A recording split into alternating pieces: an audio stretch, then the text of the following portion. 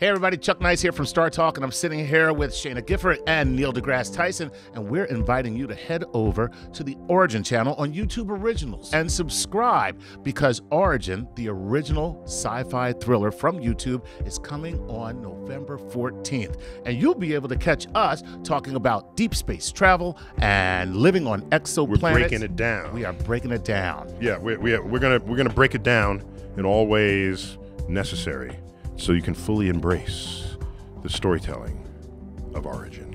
Right. And we can talk about it because she's here. And because he's here. and because he's here. No, There. not because I'm here.